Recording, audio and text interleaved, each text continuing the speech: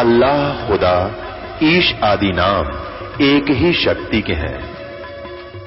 वो कैसा है, कहाँ है, कैसे मिलता है, किसने देखा है? ये प्रश्नवाचक चिन्ह पूर्ण रूप से हटाने के लिए अवश्य सुनिए जगत गुरु तत्वदर्शी संत रामपाल जी महाराज के अमृत वचन सर्व पवित्र धर्मों के पवित्र शास्त्रों के आधार पर। संक्षिप देवी भागवत और तीसरा सकंद 123 पृष्ठ पर जो आपको पहले दिखाया था, उसी में फिर थोड़ा सा ये देखते हैं। अब भगवान विष्णु कह रहे हैं, तुम शुद्ध स्वरूपा हो। ये सारा संसार तुम इसे उद्भाषित हो रहा है। दुर्गा को कह रहे मैं ब्रह्मा और शंकर हम तुम्हारे ये कृपा से विद्यमान है। हमारा जन्म और मृत्यु होता है। आविर्भाव मन जन्म, तिरोभाव मन मृत्यु। केवल तुम ही नित्य हो, जगत जननी हो और प्रकृति और सनातनी देवी हो। प्रकृति दुर्गा को कहते हैं। अब आएगा काम ये प्रकृति शब्द गीता जी में आपका और दिखाते हैं थोड़ा सा प्रकृति। अपने आत्मा आपके समक्ष इतने ढेर सारे प्रमाण इकट्ठे करके, दिखा करके तब ये मन स्वीकार करेगा, इस अज्ञान से हटेगा और ज्ञान को ग्रहण करेगा। अब आपको दिखाते हैं श्री शिव पुराण के अंदर जो कि ये दुर्गा इन तीनों की माँ है, ब्रह्मा, विष्णु, महेश की, और ये सदा शिव रूपी काल जो है काल रूपी ब्रह्म, ये इनका पिता है। देखिए शिव पुराण गीता प्रेस गोरखपुर से प्रकाशित, केवल हिंदी वाली में। ये इसके हम आपको, ये गीता प्रेस गोरखपुर से प्रकाशित है। इसमें ब्रह्मा जी बता रहे हैं अपने पुत्र नारद को। ये संस्कृत शिवपुराण पृष्ठ अठानवे पे नीचे से, अपने पुत्र नारद की यह बात सुनकर लोक पिता में ब्रह्मा वहाँ इस प्रकार बोले। ये निन्यानवे पृष्ठ पर है। और ये रुद्र संहिता का छठा अध्याय है। ब्रह्मा जी ने कहा, ब्रह्मन, देव शिरोमणे, तुम सदा समझ जगत के उपकार में लगे रहते हो। तुमने लोगों के हित की कामना से बहुत उत्तम बात पूछी ये सब बताते हुए कि सृष्टि की रचना किसने की यहाँ आ जाते हैं।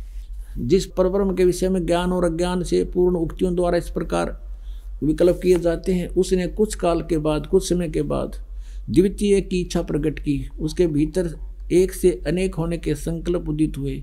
तब उस निराकार परमात्मा ने अपनी लीला शक्ति से अपने लिए एक मूर्ति की कल्पना की। और जो मूर्ति रहित परम ब्रह्म है, उसकी मूर्ति कौन है? ये सौ पृष्ठ पे पढ़ रहे हम? सौ पृष्ठ पे। भगवान सदाशिव हैं। ये काल है सदाशिव। अर्वाचीन और प्राचीन विद्वान उन्हीं को ईश्वर कहते हैं। उस समय एकाएकी रहकर सब इच्छा अनुसार विहार करने वाले उन सदाशिव ने अपने विग्रह से, अपने शरीर से स्वयं ही एक स्वरूप भूता शक्ति की सृष्टि की, जो उनके अपने श्रीअंग से कभी अलग होने वाली नहीं थी। उस पराशक्ति को प्रधान प्रकृति प्रकृति भी कहते हैं उस दुर्गा को। गुणवती माया बुद्धि तत्व की जननी और विकार रहित बताया गया है। वह शक्ति अंबिका कही गई है, उसी को प्रकृति दोबारा फिर कहा है। प्रकृति सर्वेश्वरी और त्रिदेव जननी नित्ता और मूल कारण भी कहते हैं। सदाशिव द्वारा प्रकट की गई उस प्रकृति के आठ बुझाए। ये प्रकृति दुर्गा को कहते हैं, कति स्पष्ट हो गया। वे जो सदाशिव हैं, उन्हें परम पुरुष शिव शंभु और महेश्वर कहते हैं। एक सौ एक पृष्ठ पर हम चल रहे हैं रुद्र संहिता गीता प्रेस, गोरखपुर से प्रकाशित वे अपने सारे अंगों पर भस्म रमाए रहते हैं। उन काल रूपी ब्रह्म ने एक ही समय, ये काल रूपी ब्रह्म है। ये काल रूपी ब्रह्म, ये ये काल है। काल रूपी ब्रह्म ने एक ही समय शक्ति के साथ शिवलोक नामक क्षेत्र का निर्माण किया। अब मैं क्या बताना चाहता हूँ आपको? वे प्रिय और प्रियतम रूप शक्ति और शिवा ये पति पत्नी रूप में उस काशी में रहते हैं। देवर से एक समय उस आनंद मन में रमण करते हुए शिवा और शिव के मन में यह इच्छा हुई कि किसी दूसरे की, पुरुष की भी सृष्टि करनी चाहिए। जिस पर यह सृष्टि संचालन का महान भार रखकर हम दोनों केवल काशी में रहकर स्वेच्छा अनुसार विचरें और निर्वाण धारण करें। ऐसा विचार करके, निश्चय करके शक्ति सहित सर्वव्यापी परमेश्वर शिव ने अपने वाम भाग से दसवें अंग पर अमृत मल दिया। यानी दुर्गा के साथ पति पत्नी व्यवहार किया, जिससे वहाँ एक पुत्र की उत्पन्न हुई, एक पुरुष प्रकट हुआ, उसका नाम के रखा। ये 102 पृष्ठ पर। ये रुद्र संहिता। शिव बोले, वत्स व्यापक होने से तुम्हारा विष्णु नाम विख्यात हुआ। यानी विष्णु और ब्रह्मा और शिव का पुत्र है, ये काल रूपी ब्रह्म। दुर्गा इसकी पत्नी है। अब फिर ये यहाँ छठा अध्याय खत्म होगा रुद्र संहिता का और सातवें में भगवान ब्रह्मा जी कहते हैं, देवर से तत्पश्चात कल्याणकारी परमेश्वर शाम सदा शिव ने पूर्व प्रयत्न करके मुझे अपने दाहिने अंग से उत्पन्न किया। जिस प्रकार विष्णु किया वैसे मैं क्या मेरा बेहोश कर दिया। पुण्यात्माओं, ये स्पष्ट हो गया कि दुर्गा को प्रकृति कहते हैं। एक भक्त आता ग्वालियर से और बड़ा वैद है, वो वैद का भी कार्य करता है। और अच्छा एज आदमी, समझदार, बुद्धिमान दिखे था। तीन साल से नाम ले रखा और इतना कुछ प्रमाण दास देता है, लेकिन कई बार ऐसा होता है कि अनुपस्थिति भी इसका कारण बन जाती है कि हम पूरे ज्ञान को ग्रहण नहीं करते। तो उसने कहा एक दिन, दो वर्ष नाम ले रखा था, उसके बाद कहता है कि आप गलत कहते हो। एक पत्र लिख कर दिया कि आप गलत कहते हो। दुर्गा को प्रकृति नहीं कहते, मैं नहीं मानता। मैं बोला वह नहीं मानता तो यहाँ मत आकर जब तुम मेरे पर विश्वास नहीं, इस दास पे फिर तिराने का यहाँ पर फ़ायदा क्या? उसको हमने यहाँ से मना कर दिया आने को। अब फिर उसने दोबारा पढ़ा अच्छी तरह, किसी ने बताया कि आप गलत कह रहे हो, इसको पढ़ो सारे, प्रमाण दे रखे हैं, लिखा हुआ है। उसने फिर पढ़ा दोबारा। फिर वापस आया, अपनी भूल को स्वीकार किया। और कहा, मेरी गलती बन गई थी मुझे और मैंने ध्यान से सुना नहीं, पढ़ा नहीं था। हमें, हमारा तो पुराना रंग चढ़ा हुआ था और वही आगे, आड़े अड़ा रहा। पुणात्मा इतना प्रमाण देता है, दास और फिर अज्ञान नहीं हटता। हद की बात है, कितना ठोक ठोक रखा है हमारे अंदर ये अज्ञान ठोक रखा हज़ारों वर्षों से ठोक रखा अब हम पढ़ते हैं इस गीता जी को। प्रकृति दुर्गा को कहते हैं।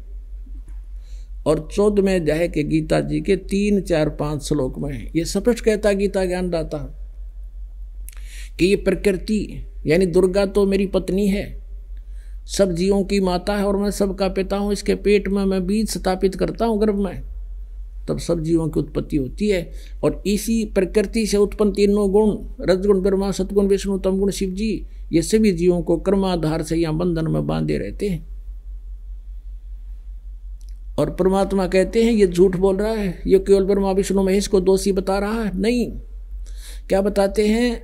ब्रह्मा, विष्णु कहते हैं, ब्रह्मा, विष्णु, महेश्वर, माया और धर्मराया कहिए, इन पाँचों में परम पंथ बनाया वाणी हमरी लहिए। परमात्मा कहते हैं, ब्रह्मा, विष्णु, महेश, माया और धर्मराया कहिए। धर्मराज कहें, इस काल को। धर्मराया भी कहते हैं और इन पाँचों को, पाँचों ने मिलकर ये प्रपंच बना रखा है, वाणी हमारी लहिए। अकेले ब्रह्मा विष्णु महेश दोषी नहीं है। अब हम आते हैं अपने उसी कंसेप्ट के, उसी पॉइंट पर कि ये ये क्या कह रहा है कि अब ऐसा ज्ञान सुना दूँगा अर्जुन, इसको सुनने के बाद फिर कुछ भी जानना शेष नहीं रहेगा। और ये भगत मेरी भक्ति अवश्य करते हैं। हज़ारों में से कोई मेरी भक्ति करता है, लेकिन उनमें से कोई एक ही मुझे पहचान पा रहा है। मैं कौन हूँ? मुझे पहचान नहीं रहेगी अब फिर देखिएगा श्री मद भगवत गीता। ये देखिएगा। अब इसके हम फिर आते हैं सातवें सकंद में।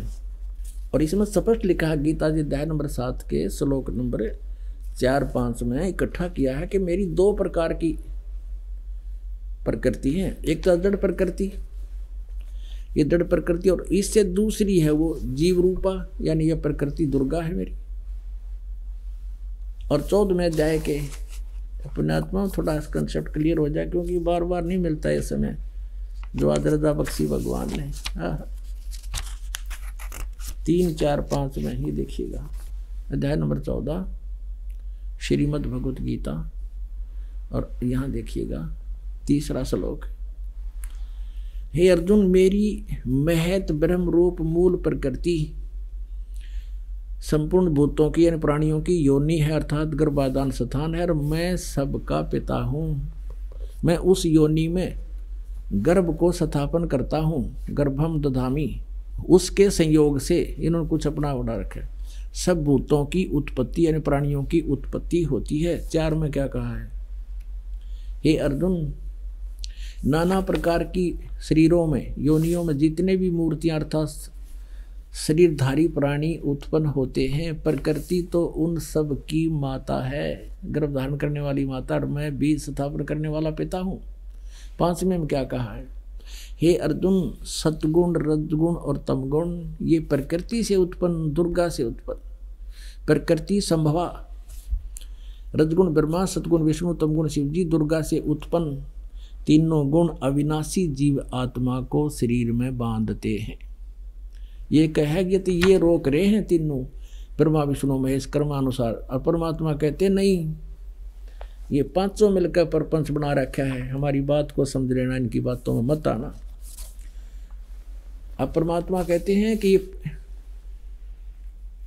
इन पांचवा ने मिलकर ब्रह्मा, विष्णु, महेश, माया, दुर्गा और ये काल कहिए, इन पाँचों ने मिलकर ये प्रपंच बना रखा है, वाणी हमारी लइए हमारे ज्ञान को गहराई से समझना।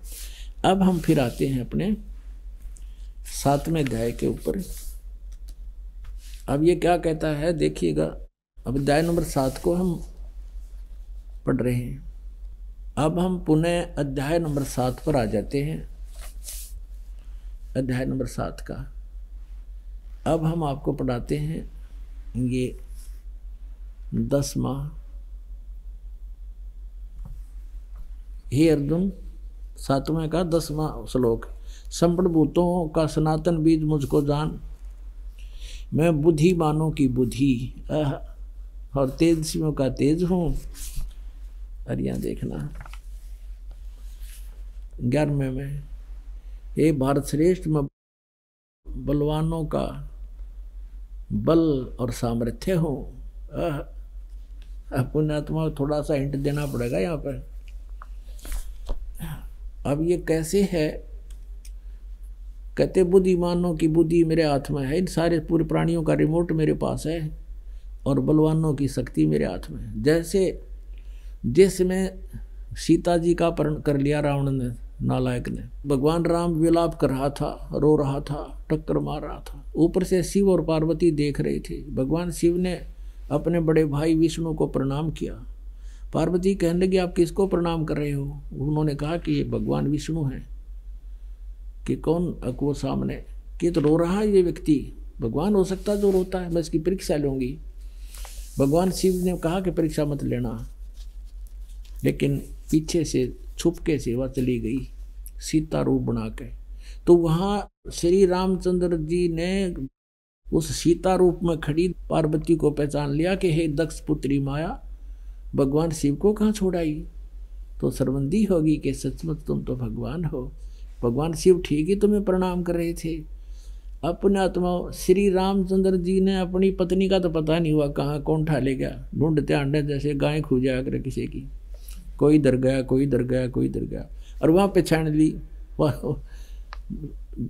पार्वती पहचान ली। बुद्धि ऑन कर दी काल ने। कहता बुद्धिमानों की बुद्धि मेरे हाथ में है। जब चाहे ऑन करूँ, जब चाहे ऑफ़ कर दूँ, फिर ऑफ़ कर दी, फिर उस आए अब जैसे अर्जुन को युद्ध के समय बल दे दिया उस काल ने। एक का मारा था, बीस पड़े थे। और वही अर्जुन, वही गांडीव धनुष उसके पास था। और जब श्री कृष्ण जी की मृत्यु होगी थी सारे यादों का कुल नाश हो गया था, आपस में लड़का मर गए थे और शेष बची थी जो उनकी पत्नियाँ उनको ले करके आ रहा था। रास्ते में बिलान पकड़ दिया। वो धनुष उठा नहीं उसने चलाना तो दूर की बात है। और मारे जूत उसका घेर कर खोस ले गए, सारी करखरी औरतों को भी ले गए और उनके गहने तोड़ ले गए। तब रो रहा है अर्जुन खड़ा खड़ा कि ये कृष्ण बड़ा छलिया था, इसने धोखा ही धोखा किया हमारे साथ। जब मुझसे अनरथ करवाना था विनाश करवाना था जो मुझे ताकत दे दी। अब वही धनुष है, वही अर्जुन है। आज मैं खड़ा खड़ा पिट रहा हूँ, मेरे से चल भी नहीं रहा, मैं काँप रहा हूँ। अब परमात्मा कहते, तुम न, उस बीमारी का ना बेरा कहाँ से बिजली गिर रही है? तुम श्री कृष्ण जी को दे रहा हो लाने श्री कृष्ण का रोल नहीं, ये तो उस काल के हाथ में रिमोट है। कहता, बलवानों का बल मैं ही हूँ, जब चाह दे दूँ, जब चाह वापस खींच लिया, वही बूढ़े पेटे खड़ा खड़ा इसने उद्मस्ता रखा यहाँ पर परमात्मा कहते हैं। अब परमात्मा की इस रोशनी में हमें दिखाई देने लगे, हम के पढ़ा करते क्या कह रहा था ये? ये कर क्या रहा? कौन रहा है? और हम दोषी किसको मानते थे? अब देखिएगा, सातवें अध्याय के बारहवें श्लोक पर है। ये तीनों गुण आपने समझ लिए ये कंसेप्ट क्लियर हो गया, ये सातवा अध्याय है। कि रजगुण ब्रह्मा है, सतगुण विष्णु, तमगुण शिव जी, बारहवा श्लोक। और भी जो सतगुण से उत्पन्न होने वाले, यानी विष्णु जी से जो सतिथि होती है, वो भाव हैं और जो रजगुण से उत्पत्ति और तम गुण से सहार जो हो रहा है, ये भाव जो हैं, उन सबको मुझसे ही होने वाले ऐसा जान क्योंकि सब वो ही करवा रहा है आप गुप्त बैठा है। परंतु उनमें मैं नहीं और वे मुझमें नहीं। तेर में क्या कहा है? गुणों के कार्य रूप सात्विक, राजस और तामस, यानी तीनों गुणमय, तीनों प्रकार के भाव से, तीनों गुणों से, भाव से यह सारा संसार, प्राणी समुदाय मोहित हो रहा है। इन तीनों गुणों से परे, यानी रजगुण, ब्रह्मा, सदगुण, विष्णु तम गुण, शिव जी से परे मुझ अविनाशी को नहीं जानता। अब देखो, चौदह में कमाल कर दिया सातवें अध्याय के चौदहवें मंत्र में क्योंकि यह अलौकिक, अर्थात अति अद्भुत त्रिगुण में मेरी माया। रजगुण ब्रह्मा सतगुण विष्णु, तमगुण शिवजी द्वारा फैलाया गया जाल, ये बड़ा दुस्तर है, बड़ी दुस्तर है, खतरनाक है। और जो पुरुष मुझको ही निरंतर भजते हैं, वे इस माया का उल्लंघन कर जाते हैं। अर्थात जो ब्रह्म साधना करते हैं, ब्रह्मा, विष्णु, महेश से मिलने वाली राहत से अधिक लाभ प्राप्त कर लेते हैं, वो ब्रह्म लोग चले जाते हैं। अब पंद्रमा में कहा है कि माया के द्वारा जिनका ज्ञान हरा जा चुका है, रजगुण, ब्रह्मा, सदगुण, विष्णु तम गुण शिव जी रूपी इस त्रिगुणमयी माया के द्वारा जो इन्हीं पर आ हैं, इनसे आगे किसी भगवान को मानने को तैयार नहीं है, कहते उनका ज्ञान हरा जा चुका है। वे असुर स्वभाव को धारण किए हुए मनुष्यों में नीचे ओह, और दूषित कर्म करने वाले मूड लोग हैं, मूर्ख मुझे नहीं भजते। गीता ज्ञान दाता ये ब्रह्म कह रहा है कि ये मूर्ख मुझे ये ती, तीनों गुणों की रजगुण ब्रह्मा सतगुण विष्णु तमगुण शिव जी त्रिगुणमयी माया के द्वारा जिनका ज्ञान हरा जा चुका है ये असुर आसुर माने राक्षस स्वभाव को धारण किए हुए मनुष्यों में नीच यानी महापामर प्राणी दूषित कर्म करने वाले मूड चार उपमा दिए कठिए मुझे नहीं बचते पुणात्माओं अब ये कंसेप्ट क्लियर करना पड़ेगा कि रजगुण, ब्रह्मा सतगुण विष्णु, तमगुण, शिव जी के पुजारियों को। राक्षस स्वभाव को धारण किए मनुष्यों में नीच, दूषित कर्म करने वाले मूर्ख क्यों कहा? जैसे भगवान शिव यानी तमोगुण शिव की पूजा की थी रावण ने। राक्षस कहलाया, और कैसे जुल्म किया अपनी माता को, यानी जैसे वो श्री शिव जी का पुजारी था। और विष्णु जी शिव का बड़ा भाई है। उसके बड़े भाई की पत्नी को उठा लिया जिसकी पूजा करे तो माता हुई। अपनी माता को उठा लिया और पत्नी बनाने की चेष्टा कर रहा है। इससे भी नीच कोई कर्म होगा। शराब पीवे, दारू पीवे, मांस खावे, हैं, और फिर फिर कैसा कुत्ते वाली मौत मारा गया। दूषित कर्म करने वाले मूर्ख, आसुर स्वभाव को धारण किए राक्षस कहलाया आखिर में। फिर एक बसमागिरी नाम का ये गिरी, पुरी, नाथ, कनपाड़े, नागा, ये तमोगुण भगवान शिव के उपासक हैं। एक बसमागिरी नाम का एक साधक था, भगवान शिव जी की पूजा करे। उसके द्वार के सामने कैलाश पर्वत पर बरने का आगे बैठ गया, द्वार के सामने और ऊपर ने पैर नीचे को सिर कर लिए। बारह वर्ष तक तपस्या करता रहा। एक दिन पार्वती ने कहा कि भगवान, आप तो सर्वेश्वर हो, महेश्वर हो, आप तो समर्थ हो, क्या माँगता है आपका पुजारी? इसको फारिग करो यहाँ से। भगवान शिव ने कहा कि बोल भाई, क्या माँगता है तपस्वी? तो बसमागिरी ने कहा कि भगवान, ऐसे नहीं मांगने वाला। अब वतनबद्ध हो जाओ, तब मांगो। भगवान शिव ने सोचा, के मांगेगा? एक सिद्धि मांग लेगा, दे दूँगा। आठ सिद्धि हैं इसके पास। और परमात्मा कहते हैं, हमारे पास असंख्य सिद्धि हैं। आठ की तो बात ही कुछ को नहीं। तो फिर क्या बताते हैं? तो उसने कहा कि ठीक है तो भाई मैंने वतनबद्ध हो गया, मांग क्या माँगता? तभी सीधा खड़ा हो गया। उसके मन में क्या दोष था कि मैं भगवान शिव से बसम कड़ा मांगूँगा। उस भसम कड़े में यह शक्ति थी कि जिसके सिर पर ऐसे करके नू कह दे भसम, सिर के ऊपर ऐसे करके तो जल जाता था, भस्म हो जाता था, नष्ट हो जाता था, मृत्यु हो जाती थी। तो उसको पता था और उसके मन में क्या था कि भगवान शिव ने मारूँगा, पार्वती ने पत्नी बनाऊँगा। इसी दृष्टिकोण से, इसी उद्देश्य से उसने खड़ा होकर कहा कि लाओ भगवान बसम कड़ा दे दो। भगवान ने वचनबद्ध थे निकाल कर उकड़ा बसम कड़ा दे दिया। अकले भाई। अब जो ही उसके हाथ में बसम कड़ा आया उस पुजारी के, और अपने बोला, ले शिव जी बोले होशियारी, तुझे मारूँगा।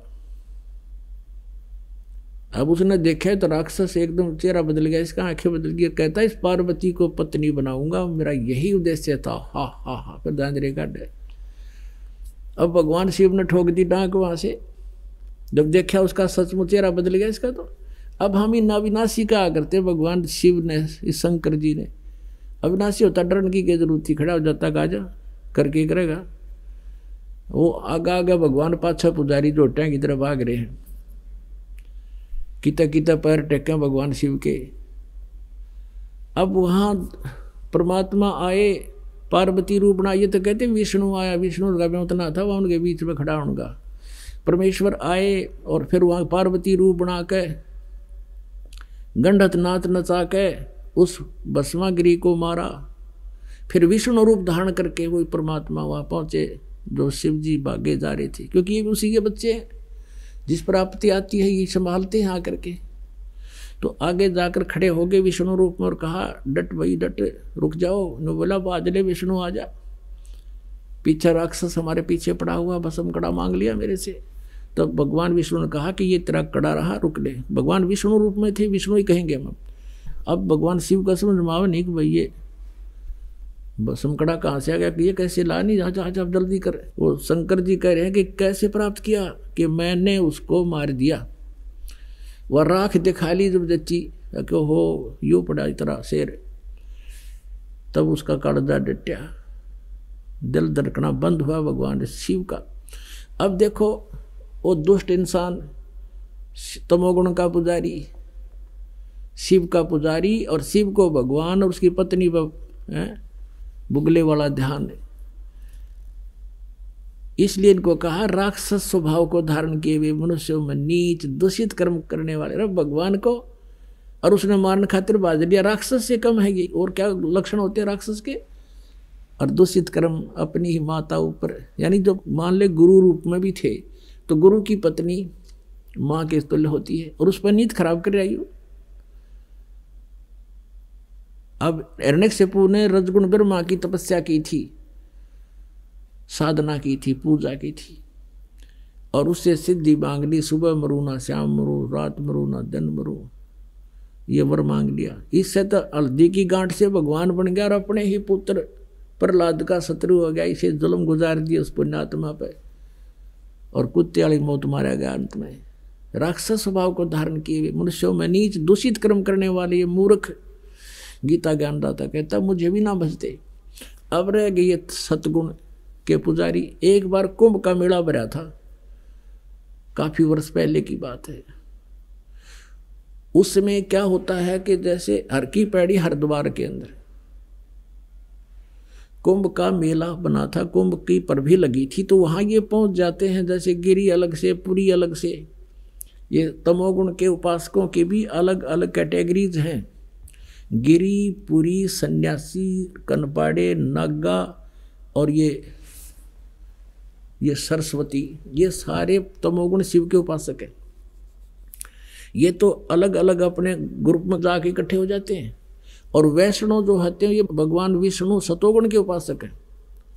वैष्णु, भगवान विष्णु सतोगुण के उपासक हैं। वो वैष्णु अलग से इकट्ठे हो गए। और ये नागा भी भगवान शिव के तमोगुण के उपासक हैं। तो स्नान करने के समय वो पर भी इनकी समय निहित होता है कि इस समय पर भी लगेगी उस दौरान जो नहा लिया तो वो पार हो जाएगा। क्योंकि उनके पाप कट गए, मुक्त हो जाएँगे वह परमात्मा कहते हैं जिस जोड़ में तुम नहाने से मोक्ष मानते हो दरिया में वो मछली मेंढक और जीव जंतु पहले विद्वान थे तुम्हारी पर भी थे पहले उसमें थे और पर भी, भी उसमें नहाए और फिर भी उसके अंदर रहे वो मुक्त ना हुए। फिर भी जैसे था हम अपने कंसेप्ट पर आते हैं पॉइंट पर। तो वहाँ ये सभी अपने अपने ग्रुप में पूरी अलग गिरी अलग नागा अलग।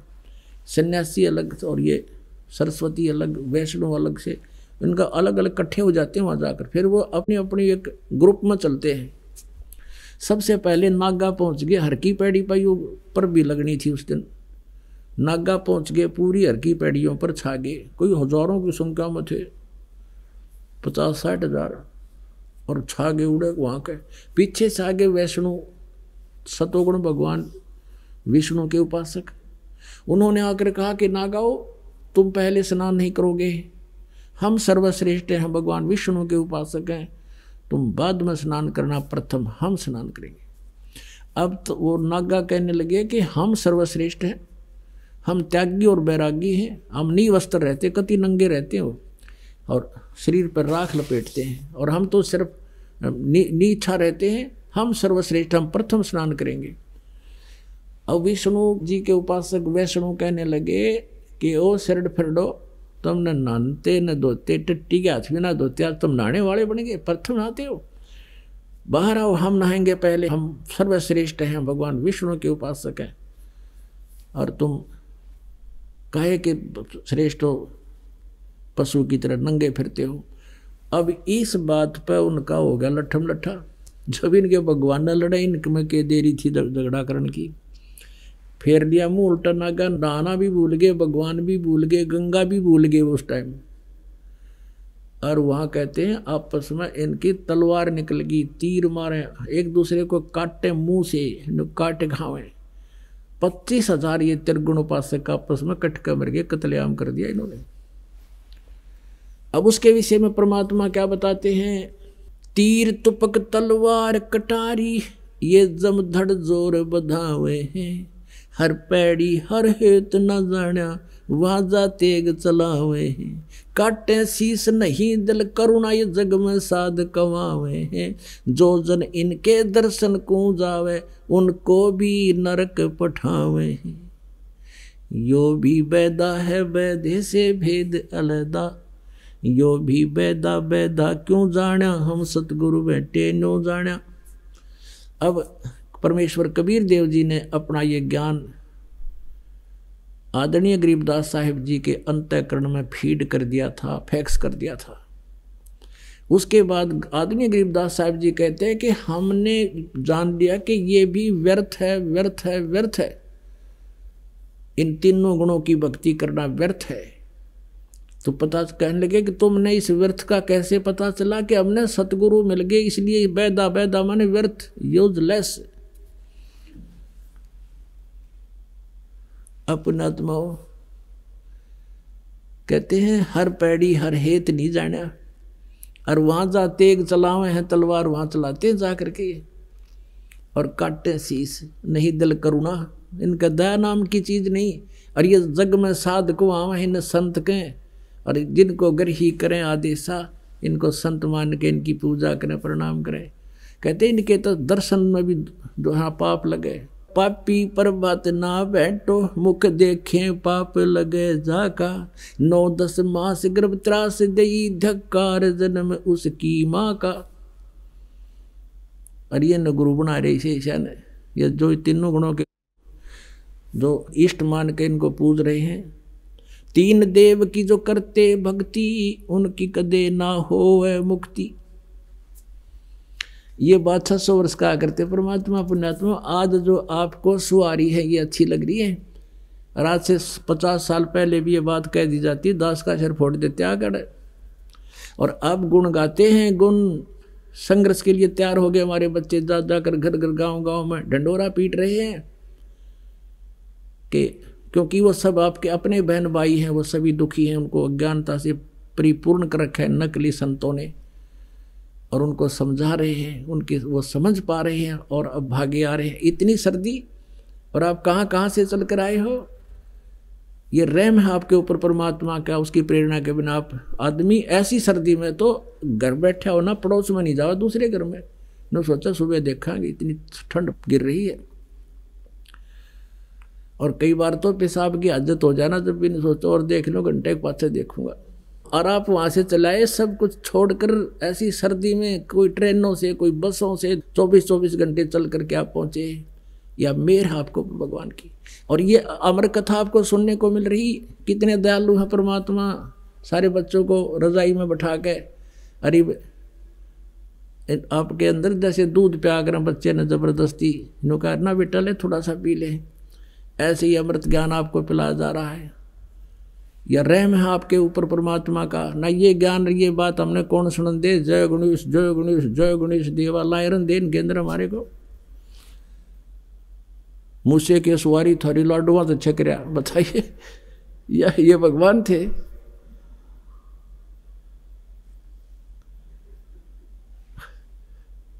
हमने ज्ञान था नहीं, हम इनने के चिपटे रहे सारी उम्र। तो परमात्मा ने हमारी आँखें बना दी पुणात्माओं मोतिया बंद हमारा नाश हो गया। ऑपरेशन हो गया और अब आपको भी डॉक्टर बना दिया। धीरे धीरे जाके गाँव में, गुआंड में सब जगह पुस्तक वितरित करो, समझाओ प्यार से। चाहे एक बार कोई गाली भी दे आपको, आपने उसका बुरा नहीं मानना, क्योंकि आपको पता है कि प्रथम बार आपको भी ऐसा ही लगा होगा जैसे आज ये चिंगर गया। और फिर देखना आपके गुण गाओगा को हो आपने तो मेरा अंधेरा हटा दिया। और आप कहना, नहीं, ये तो सतगुरुदेव की रजा है, अपने ऊपर नहीं ले वे कहते मैं मैं करे सो मारिए, तू तू करे सो छूट बे इस मार में होशियार बंदे गदा बने कह ऊँट बे हूँ हूँ करे सो गद्दा हुई, मैं मैं करे सो बोक बे और बंदा भी सारे बंदगी तो स्वान है सब लोग बे तो कहने का भाव ये है कि अपने सिर नहीं ले परमात्मा का दिया हुआ ज्ञान है। अपने ऊपर कोई आपकी प्रशंसा करता आपने बड़ा बढ़िया ज्ञान बताया और आपको मैं फूक भर जाएगी फिर। ब्रह्मा, विष्णु में ऐसा बड़ा हाल हो जाएगा फिर आपका। फिर दूतम दूता हो जाओगे। हमारा कोई ब्योत नहीं, हम जीव हैं, भगवान गॉड गिवन ज्ञान है, और हमें पता लग गया, वहाँ गए उसका संदेश, एक नौकर बन के एक डाकिया बनकर हम पुस्तक ले ले जा रहे हैं। हमारा इतना ही ब्योत है, और इतना ही समझा अपने आप को। हम जीव हैं, अपने आत्मा पहले हम सांग देखने जाया करते सर्दियों में। एक एक जो है ना, उसकी खद्दर की चद्दर होती थी और खद्दर का कुर्ता पजामा होता था। और जब बैठे रात, सर्दियों के दिनों में सांग देखने जाया करते, वहाँ सुबह देखे ना, वहाँ गधे नहीं बैठे, वहाँ बैठा करते जाके। अब यानी सारे बैठते थे। और सारी रात दांदरे काटे जानते, वो अच्छी बूंदी कहें जाते और सुबह उठ कर आ जाते। सारी रात जागते, वहाँ रेत में बैठते, जाकर ना पूरा कौन मैट बिछावा था। हमने देख रखे, और आज देखो परमात्मा ने किसी रजा बख्श रखी, और ये ज्ञान आपको सुनने को मिल रहा, जो देवता तरस इस सत्संग को। आप कितनी पुण्यात्मा हो, ये आपको नहीं मालूम। लाल को अपनी कीमत का ज्ञान नहीं होता, जोड़ी बताता है। तो ये समय है इस ज्ञान को समझने का, घंटा आध घंटा फालतू भी लग जावे तो खुशी मनावे अपने दिल में, ऐसे रहस्य आपके समक्ष आ रहे हैं। अब ये गीता ज्ञान दाता पंद्रहवें श्लोक तक तो कहता है, ब्रह्मा, विष्णु, महेश की पूजा करने वालों को मूर्ख, राक्षस स्वभाव को धारण किए, मनुष्यों में नीच, दूषित कर्म करने वाले बताता है। ये मेरी भक्ति नहीं करते ब्रह्म की। अब सोलह, सत्रह, अठारह में तीन श्लोकों में अपने विषय बता रहा है कि मुझ ब्रह्म की भक्ति भी चार प्रकार के करते हैं। या तो कोई करता ही नहीं। जैसे शुरू में, सातवें अध्याय के प्रथम, दूसरे श्लोक में कहा है कि मेरी भक्ति का प्रयत्न हज़ारों में कोई एक करे है और उन नमन से भी कोई एकाध मुझे पहचान पाता है, मुझे समझता ढंग से। यानी ब्रह्म तक पहुँचता है। तो यहाँ वही कहता है, चार प्रकार के मेरी साधना करते हैं, आरथ, अर्थार्थी जिज्ञासुर ज्ञानी। तो उन तीनों को तो रिजेक्ट करता है ये। आर्थ तो वो है जो संकट निवारण के लिए वेदों के, मंत्रों के आधार से अनुष्ठान अनुष्ठान करते हैं। वो अन्य आरती या किसी कविता का सहारा नहीं लेते, ना कोई और मंत्र वेदों के मंत्रों से करते हैं। तो वो ब्रह्म उपासक ही कहलाते हैं। इसी प्रकार अर्थार्थी जो धन प्राप्ति के लिए धन गढ़ा इकट्ठा बन जाए हमारे इसलिए कोई अनुष्ठान करते वो वेदों के मंत्रों से ही करते हैं। तो वो भी व्यर्थ है, क्योंकि वो भगवान प्राप्ति नहीं, वो तो अन्य काम लाग रहे हैं। और तीसरा जिज्ञासु जैसे घर से निकला भगवान पाने के लिए आज्ञा ज्ञानी संत टकरा गए, उनसे खचड़ा ज्ञान इकट्ठा किया, आप वक्ता बन गया, वो जिज्ञासु, वो भी व्यर्थ बताया, नहीं। अब चौथी प्रकार के ज्ञानी हैं। ज्ञानी का अर्थ है कि जिसने ये समझ लिया कि मनुष्य जीवन बार बार नहीं मिलेगा। और मनुष्य जीवन का मूल उद्देश्य है परमात्मा पाना, मोक्ष करवाना, जन्म, मृत्यु से पीछा छुटवाना। और फिर उस उन्होंने वेदों को पढ़ा, जैसा भी उनकी समझ में आया, उन्होंने ये मान लिया कि अन्य देवताओं की पूजा भी नहीं करनी चाहिए, केवल एक परमात्मा, एकम, जिसके बराबर दूसरा ना हो। उसकी भक्ति से ही लाभ होगा, मोक्ष होगा।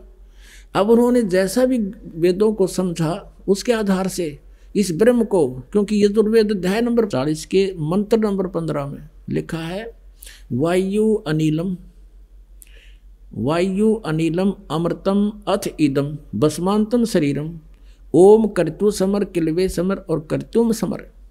वेद ज्ञानदाता कह रहा है कि मेरा एक ओम नाम है। और इसका अंतिम सांस तक, जब शरीर छूटे तेरा, यानी शुरू से लेकर अंतिम सांस तक, मेरे ओम नाम का जाप काम करते करते सिमरण कर, विशेष कसक के साथ सिमरण कर, और मनुष्य जीवन का मुख्य उद्देश्य मान के इसका सिमरण कर। इस प्रकार सिमरण करने से तो जो तुझे ब्रह्म, ओम से जो लाभ मिलना है, वो अमृत व गति तेरी हो जाएगी।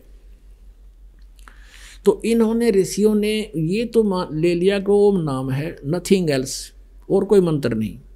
ऐसे गीता जी में, ऐसा वेदों में केवल एक ओम मंत्र है। और उन्होंने ओम नाम को पूर्ण परमात्मा का मान लिया और ब्रह्म को सुप्रीम पावर मान लिया, पूर्ण ब्रह्म।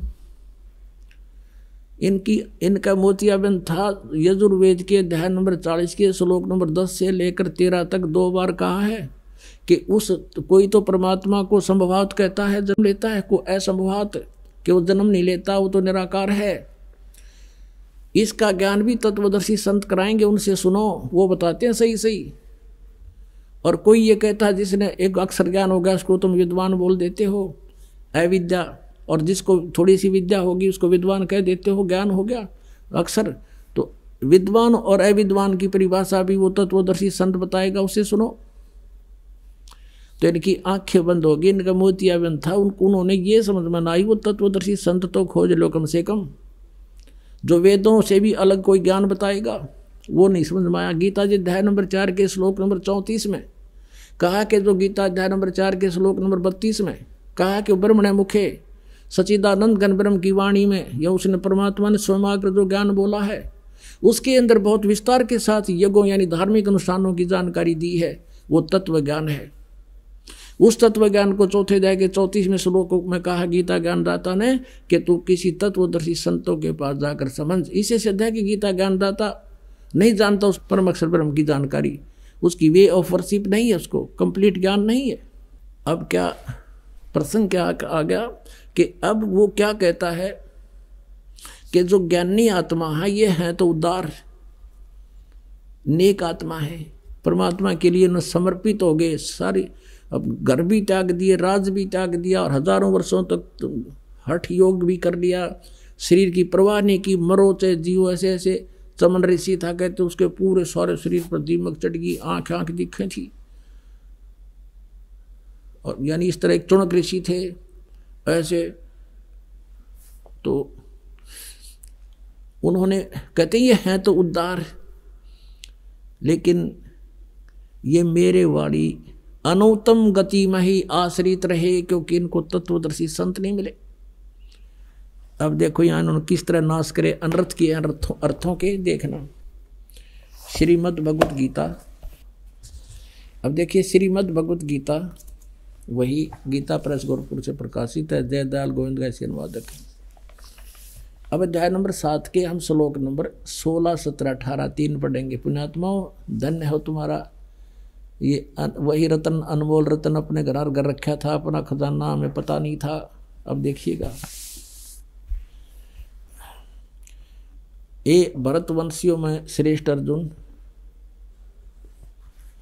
उत्तम कर्म करने वाले अर्थार्थी, यानी वो तो नीच कर्म करने वाले थे पहले, बारह से पंद्रह में थे। अब अच्छे सुकृति ना अच्छे कर्म करने वाले अर्थार्थी, आर्त और जिज्ञासु। और ज्ञानी। ये चार प्रकार के भगदन मुझको बजते हैं। फिर सत्रह में कहा है कि उनमें नित्य मुझमें सतित। अनन्य भक्ति वाला ज्ञानी भक्त।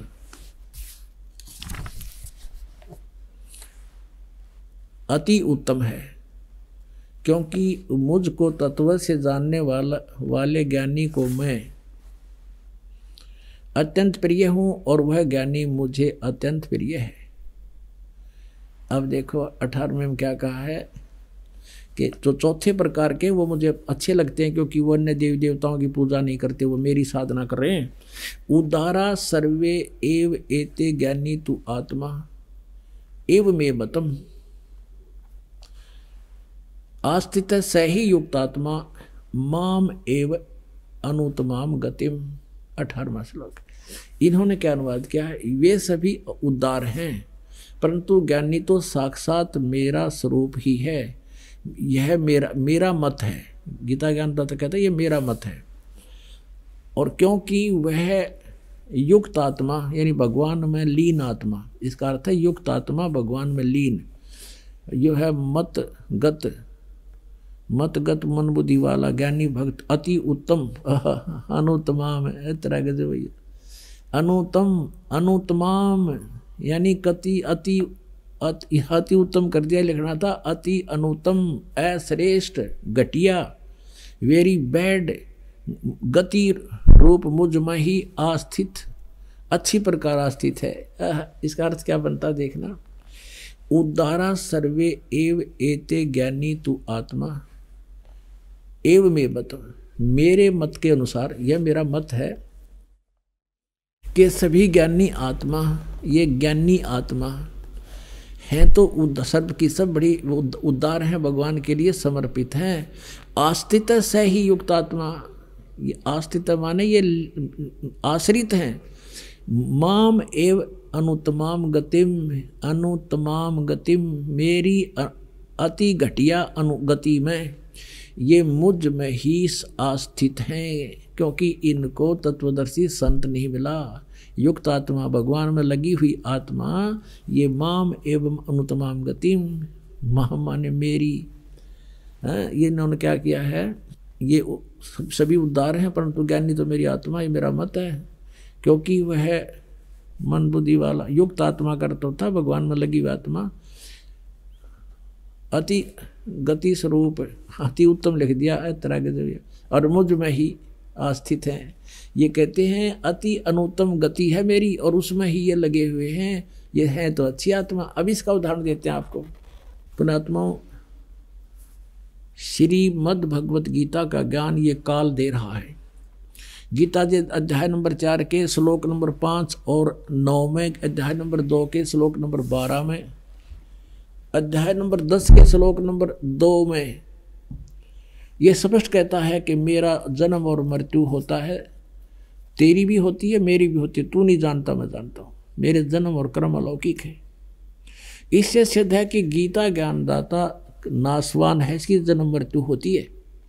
गीता जी अध्याय नंबर आठ के श्लोक नंबर एक में अर्जुन ने पूछा कि प्रभु, आपने अध्याय नंबर सात के श्लोक नंबर उनतीस में जिस तत्परम के बारे में कहा कि उसको जानने के बाद और सारे दातम से परिचित, सब कर्मों से परिचित व्यक्ति केवल जरा और मरण से छूटने का प्रयत्न करता है। तो वो किम तत्परम? आठवें अध्याय के प्रथम मंत्र में श्लोक में पूछा। उसका उत्तर दिया तीसरे में। आठवें अध्याय के तीसरे श्लोक में गीता ज्ञानदाता, ना कि वो परम अक्षर ब्रह्म है वो। यानी वो गीता ज्ञानदाता से अन्य है। इसलिए गीता जी ध्यान अठारह के श्लोक नंबर बैसठ में कहा कि अर्जुन, तू सर्वभाव से उसकी शरण मदा उसकी कृपा से तू परम शांति को और सनातन परम धाम को प्राप्त होगा। गीता जी अध्याय नंबर पंद्रह के श्लोक नंबर एक से लेकर चार में और सोलह सत्रह में बताया है कि उल्टा लटका हुआ संसार रूपी वृक्ष है, ऊपर को जड़ पूर्ण परमात्मा है नीचे को तीनों गुण रूपी शाखा है। और जो शांति सभी इस संसार रूपी वृक्ष के सभी विभाग बता देगा सर पुरुष कौन है अक्षर पुरुष कौन है और परम अक्षर पुरुष परम कौन है शाखा क्या, पत्ते क्या है? सवेदवित वो तत्वदर्शी संत है। उसके पश्चात परमेश्वर के उस परम पद की खोज करनी चाहिए। पंद्रह अध्याय के चौथे श्लोक में कहा है कि जहाँ जाने के बाद साधक फिर लौट कर कभी संसार में नहीं आते हैं, उनका पूर्ण मोक्ष हो जाता है। अपने बारे में आठवें अध्याय के पाँचवें और सातवें श्लोक में कहा है कि मेरे में मन वाला हो, मेरे में भावित रहे, मुझे प्राप्त होगा, युद्ध भी करना पड़ेगा। युद्ध भी कर, मेरा सिमरण भी कर। इसे सिद्ध है कि इसमें परम शांति नहीं हो सकती। जहाँ युद्ध का रोल है, वहाँ शांति नाम की चीज़ नहीं। और जहाँ जन्म और मृत्यु है, वहाँ शांति नहीं। और फिर वो परम परम धाम कहाँ हुआ? जा जाने के बाद वापस नहीं आते। तो वो परमात्मा अन्य है। इसलिए ये कहता है कि मे, मेरी जो गति है वो अनुतम है सातवें अध्याय के अठारहवें श्लोक में। मेरे ओम से जो मिलने वाली गति है आठवें अध्याय के तेरहवें श्लोक में कहता ओम इति एकाक्षरम। ओम इति एकाक्षरम ब्रह्म व्यवहारण माम यह प्रयाति तदन देहम सयाति परमाम गति ये देखिएगा। अब तेरहवें श्लोक में है। यहाँ संस्कृत भी पढ़ लेंगे क्योंकि देवनागरी लिपि है। ओम इति एकाक्षरम। जैसे शिव प्राण में आपने कहा था, वो काल कह रहा था ब्रह्मा और विष्णु को कि ये एक ओम यह एक अक्षर है मेरा, सब इनसे मिलकर। ओम इति एकाक्षरम ब्रह्म व्यवहारण माम अनुसमरण। ये प्रयाति तदंदे हम सयाति परमाम गतिम। मुझ ब्रह्म का, माम ब्रह्म, मुझ ब्रह्म का केवल एक ओम यह एक अक्षर है नथिंग एल्स हरे कृष्ण हरे राम राधे श्याम, सीताराम, दिखा दो गीता गीता में। मूर्ख बना रहे दुनिया ने। यह प्रयाति तदन दे हम जो श्री छोड़कर जाते समय तक इसका जाप करता है सयाति परमाम गति। यानी ओम से मिलने वाली जो परम गति है, वो ब्रह्मलोक है। और ब्रह्मलोक में गए हुए प्राणी भी वापस आते हैं। ये देखिए, ये आठवें अध्याय का, ये सोलवा श्लोक है। हे अर्जुन, ब्रह्मलोक पर्यंत सभी पुनरावृत्ति में है। ब्रह्मलोक पर्यंत सब लोग पुनरावृत्ति में है। यह देखिएगा। पुनरावृत्ति का अर्थ है, जिनको प्राप्त होकर फिर पीछे संसार में आना पड़े। यानी पूर्ण मोक्ष नहीं हुआ। और यहाँ इन्होंने अनुवाद गलत कर दिया, किंतु यह आठवें दया के सोलहवें श्लोक का। ये अर्जुन ब्रह्मलोक पर्यंत, ओम का जाप करने वाला ब्रह्म का साधक है, ब्रह्मलोक में चला जाता है। ब्रह्मलोक पर्यंत सब लोग पुनरावृत्ति में है, वहाँ जाने के बाद भी वापस आते हैं पुनः क्षीण होने पर। यहाँ इन्होंने अनुवाद कर दिया कि हे कुंती पुत्र, मुझको प्राप्त होकर पुनर्जन्म नहीं होता। ये अगर ये सच्चा है तो फिर ये क्या होगा? गीता जी अध्याय नंबर चार का श्लोक नंबर पाँच और नौ आए है। ये देखिएगा। अध्याय नंबर चार का और श्लोक नंबर पाँच है ये। ये पाँच, ये यहाँ आ जाता है इसका उत्तर, अनुवाद। हे परंतम अर्जुन, मेरे और तेरे बहुत से जन्म हो चुके हैं। उनको तू नहीं जानता, मैं जानता हूँ। इसी सिद्ध है कि गीता ज्ञानदाता कहता, मेरे दिन मृत्यु होते चौथे दया का नौवा श्लोक है। ये अर्जुन, मेरे जन्म और कर्म दिव्य हैं। हाँ हाँ निर्भर और अलौकिक हैं, दिव्य हैं, अलौकिक है। अब दूसरे अध्याय के बारहवें श्लोक में, ये अध्याय नंबर दो का और श्लोक नंबर बारह। न तो ऐसा ही है कि मैं किसी काल में ना था और न ही अथवा तू नहीं था या राजा लोग नहीं थे। और ऐसा भी नहीं है कि इससे आगे हम सब नहीं रहेंगे। अब दसवें अध्याय के दूसरे श्लोक में देखिएगा। दूसरे दसवें अध्याय के दूसरे श्लोक में ये कहता, मेरी उत्पत्ति को है। ये देखिएगा। दसवें अध्याय का ये दूसरा श्लोक है। मेरी उत्पत्ति को ये लीला से प्रकट होने को न देवता लोग जानते हैं और न महर्षि जन जानते हैं, क्योंकि मैं सब प्रकार से देवताओं और महर्षियों का आदि कारण हूँ। या ये मेरे से जन्म, जन्मे हैं इनसे जन्म, सबका जन्म मेरे से हुआ है, इसलिए ये मेरी उत्पत्ति को नहीं जानते। ये कहना आठवें अध्याय के सोलहवें श्लोक में कि मुझे प्राप्त होकर पुनर्जन्म नहीं होता, ये ये अनुवाद गलत है इनका। यहाँ ये, इसका अर्थ ये बनता है, जो ये नहीं जानते, मुझे प्राप्त होकर भी कुंते, उनका पुनर्जन्म होता है, कि ब्रह्मलोक पर्यंत गए प्राणी भी वापस आते, पुनरावृत्ति में, जो ये नहीं जानते, ये ये करना था, ये लिखना था इसका मतलब। अब प्रसंग पर हम अपने पर आते हैं, कि गीता जी अध्याय नंबर सात के और श्लोक नंबर अठारह में गीता ज्ञान दाता अपनी साधना, अपनी भक्ति को, अपनी गति को, यानी ओम नाम से होने वाली उसकी जो परम गति है, वह भी अनुतम है। क्योंकि जन्म, मृत्यु ना साधक की समाप्त होती, ना उसकी होती। गीता जी अध्याय नंबर सत्रह के श्लोक तेईस में कहा कि ओम तत्सती निर्देश ब्रह्मण त्रिविद समर्थ है। वो सचिदानंद घन ब्रह्म के पाने का, तीन मंत्र के जाप का निर्देश है नथिंग एल्स ओम तब्रह्म का सरपुरुष का, तत् और सत्य सांकेतिक के कोड वर्ण ही दास जानता इसके अतिरिक्त कोई नहीं जानता इस पृथ्वी पर। या मुझसे प्राप्त होकर कोई अपने आप गुरु बन बैठेगा, वो महापराधी है परमात्मा का, और उनको डबोगा जो उससे ऊपर उपदेश प्राप्त लेंगे, क्योंकि वो अधिकारी नहीं है। तो यहाँ उस परमात्मा के पाने की तीन मंत्र की मजदूरी है, और उससे वो भगवान प्राप्त होगा। तो गीता जी अध्याय नंबर आठ के, श्लोक नंबर पाँच और आठ के श्लोक नंबर तीन में कहा कि वो परम अक्षर ब्रह्म है, जिसको पहचानने जानने के बाद ये संसार की किसी वस्तु की डिमांड नहीं करता, केवल जरा यानी बुढ़ापे से और मरण माने मृत्यु से छूटने का प्रयत्न करता है। वो उस परम पद को पाने की चेष्टा करता पंद्रह विदाय के चौथे श्लोक में कहा है, जहाँ जाने के बाद परमेश्वर के उस परम पद की खोज करनी चाहिए, जहाँ जाने के बाद साधक लौट कर फिर कभी जन्म मृत्यु में नहीं आते। और ये खुद भी कहता है केवल उसी की भक्ति करो नथिंग एल्स मैं उसी की शरण, में उसी की भक्ति करो। उस परमेश्वर से सब ब्रह्मांडों की रचना हुई है। गीता जी नंबर आठ के श्लोक नंबर पाँच और सात में यह कहता है, मेरी भक्ति कर, मुझे ही प्राप्त होगा। युद्ध भी करना पड़ेगा या शांति नहीं है। गीता जी अध्याय नंबर अठारह के श्लोक नंबर बैसठ में कहा कि यदि तुझे परम शांति को प्राप्त करना है तो उस परमेश्वर उस परमेश्वर की शरण में जा। उसकी कृपा से तो सनातन परम धाम चला जाएगा, जहाँ जाने के बाद फिर लौट कर कभी नहीं आएगा। तो इन गीता जी नंबर सात, अध्याय नंबर सात के श्लोक नंबर अठारह में कहा है कि ये ज्ञानी आत्मा है तो उद्धार।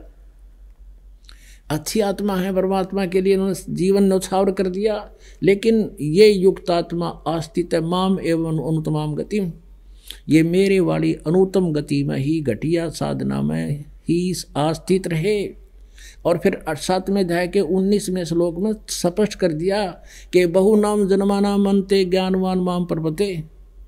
बहुत बहुत जन्मों के अंत में ज्ञानवान ज्ञानी व्यक्ति ज्ञानी मुझे पर, मेरी भक्ति करते ना तो इन और ही पूजाओं में लगे रहते हैं ये। और वासु वासुदेव सर्वमिति सह महात्मा सु दुर्लभ है। आज दिन के सत्संग में भी आपको ये कंसेप्ट क्लियर किया, किया था परमात्मा पुण्यात्माओं।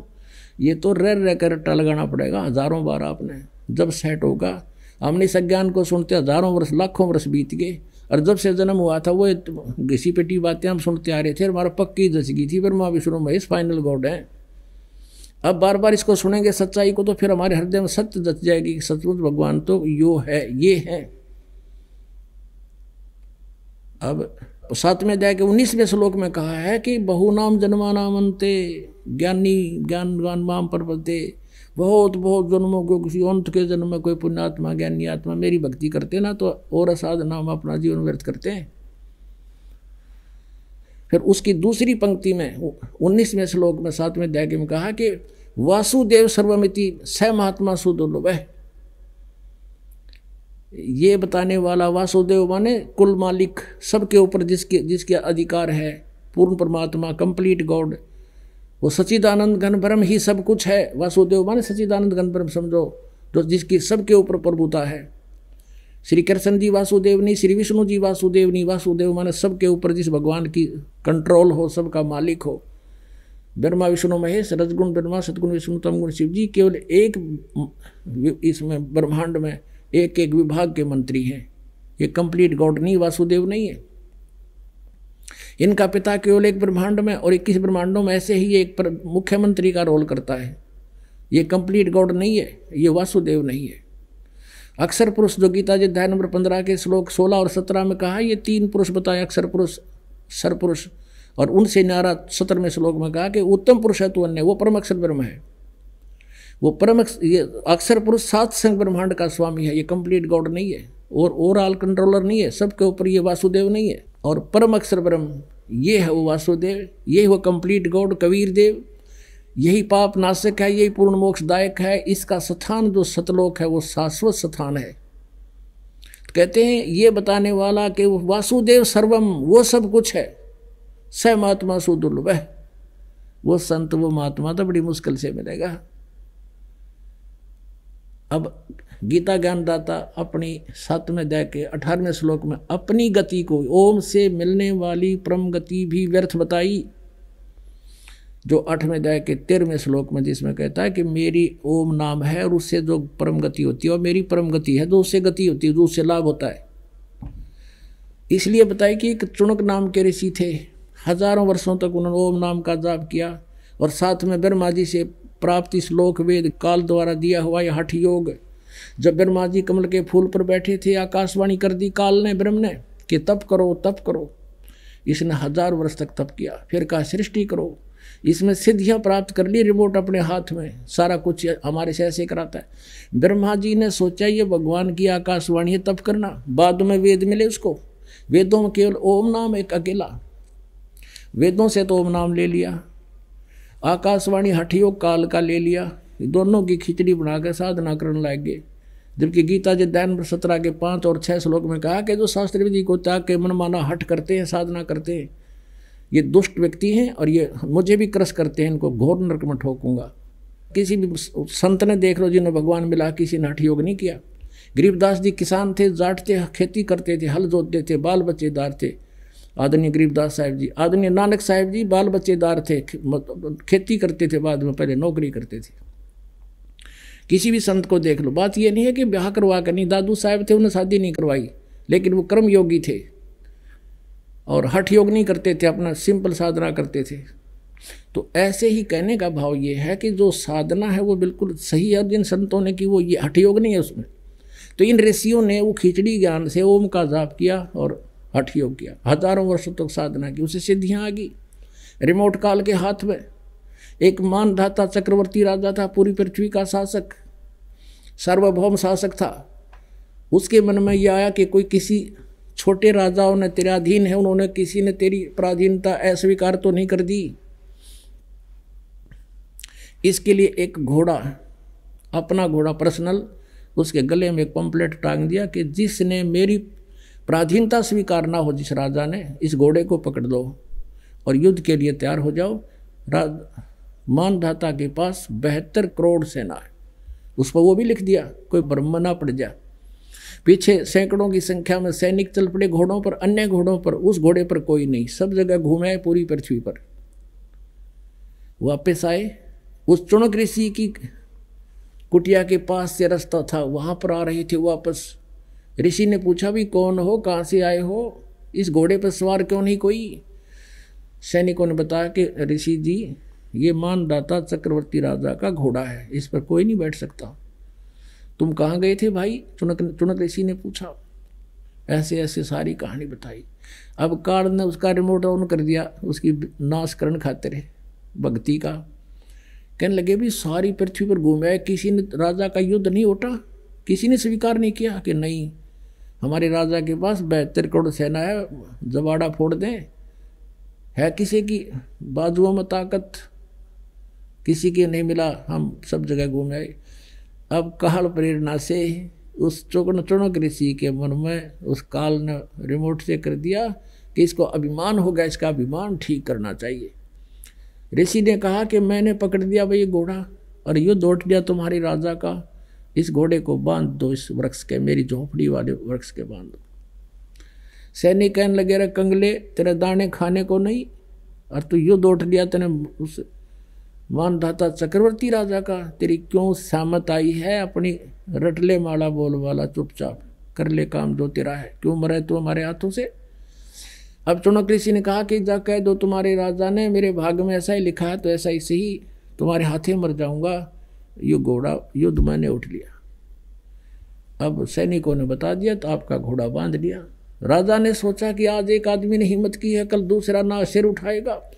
एक आदमी को मारने के लिए अठारह करोड़ सेना जिला पड़ता पूरा, कि सबके दिल दहल जाए। कोई और भी ना हिम्मत करे, ये राजनीति होती है। उधर से उस चुनक ऋषि ने जो सारे जीवन मंडले ढोए थे वह काल की पूजा करी थी। ब्रह्म का जाप है से सिद्धियाँ आ गई हठ योग से सिद्धियाँ आ गई जोम के जाप से भी सिद्धियाँ आ जाती हैं। उसने अपनी सिद्धियों का एक एटम बम बना दिए, चार। चार पुतली तैयार कर दी। राजा की अठारह करोड़ उसने चार टुकड़ी बना ली। राजा ने भी अपनी सेना की। अठारह करोड़ सेना पहली बार भेज दी तो एक पुतली छोड़ दी। उसने सबको कतलेआम कर डाला, अठारह करोड़ सेना मार दी। राजा ने दूसरी टुकड़ी भेज दी, ऋषि ने दूसरी पुतली छोड़ दी। बहत्तर करोड़ सेना का नाश कर दिया। पुण्यात्मा अब परमेश्वर कबीर साहब बताते हैं बेहतर सोणी अक्षय करी। चुनक ऋषिश्वर एक, ये दे धारे जोरा, फिर ये सभी काल के बेखे। होए होए। हे भगवान, कितनी प्यारी वाणी कही, एक ही अमृतवाणी के श्लोक में दोहे में कह दिया कि बहत्तर करोड़ सेना अक्षय करी, अक्षय माने नाश कर दिया बहत्तर अक्षोणी का।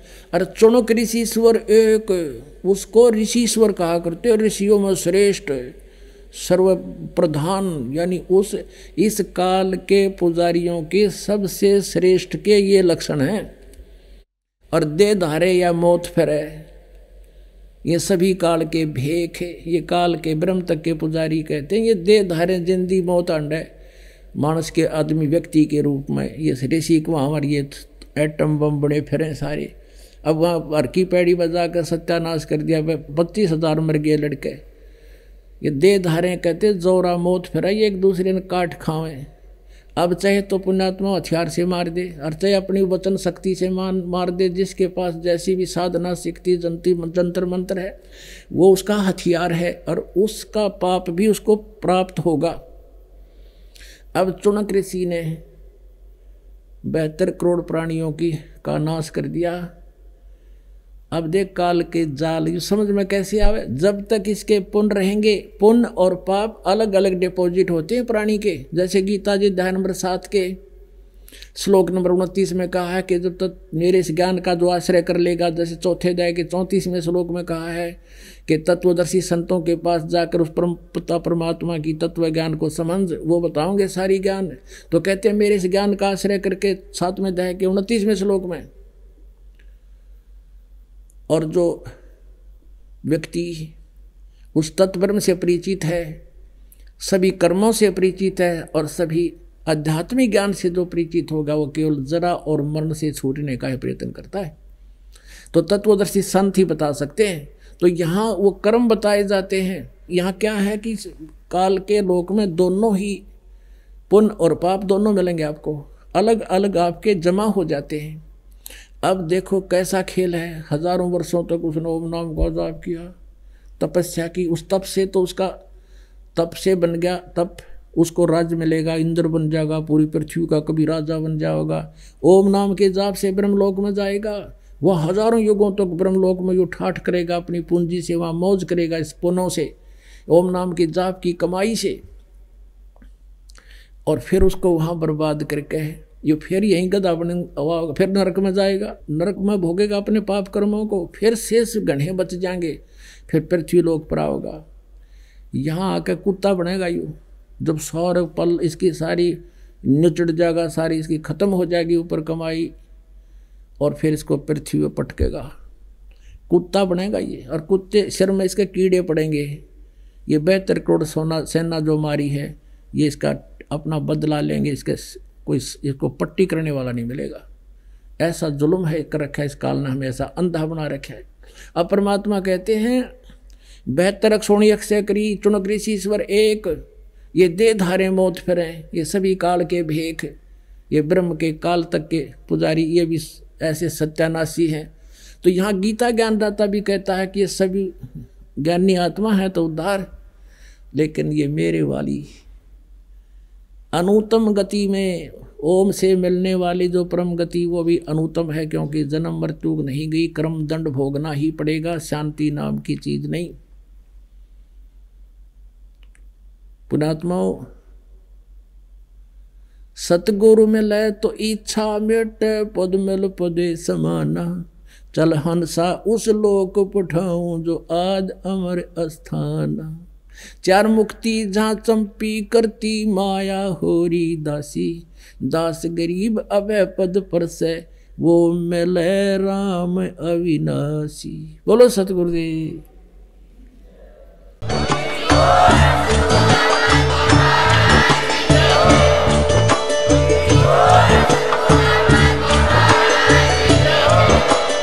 आप सुन रहे थे जगत गुरु तत्वदर्शी संत रामपाल जी महाराज जी के मंगल प्रवचन। अधिक जानकारी के लिए विज़िट कीजिए हमारी वेबसाइट www.jagatgururampalji.org संत रामपाल जी महाराज जी के शुभ आशीर्वाद से पूरे विश्व भर में 500 से भी ज़्यादा नाम दीक्षा केंद्र हैं, जिन पर संत रामपाल जी महाराज जी द्वारा ऑनलाइन निशुल्क नाम दीक्षा दी जा रही है। अपने नजदीकी नाम दीक्षा केंद्र का पता करने के लिए संपर्क करें। Eight two two to 880541